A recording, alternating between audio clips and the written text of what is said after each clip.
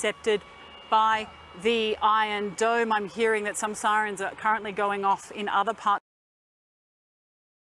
Ireland would always stand with Palestine. Yeah, because the Irish are full of fucking terrorists as well, aren't they? Fucking car bombing civilians. Fuck off. Honestly, the fucking dick sucking of I- I- Irish terrorism is insane to me. I fucking it's despicable to me.